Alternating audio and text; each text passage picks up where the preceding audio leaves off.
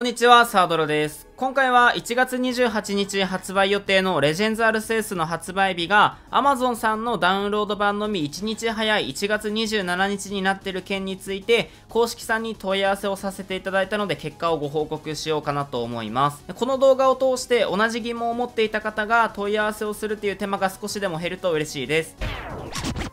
早速結論なんですが Amazon さんでダウンロード版を買ってもプレイできるのは1月の28日からみたいです。じゃあなぜ1月27日と表記されているのかっていうのも一応確認をさせていただいたんですがこれはあくまでダウンロード版のダウンロードに必要なコードが届くのが1月の27日に届くっていう意味みたいです。なので、まあ、表記はちょっと分かりづらいんですが、結局ダウンロードコードは27日に届いても、それを実際にダウンロードして遊べるのは他のダウンロード版と同じ28日からっていう風になります。ただ、Amazon さんは定価よりもかなり安い5913円でダウンロード版を買うことができますので、金額を抑えたい方は結局 Amazon さんで買うことをお勧めします。でご視聴ありがとうございました。ました。これからもレジェンズアルセウスの動画ガンガン上げていきますので、レジェンズアルセウスプレイ予定の方はチャンネル登録、高評価してくださると嬉しいです。バイバイ。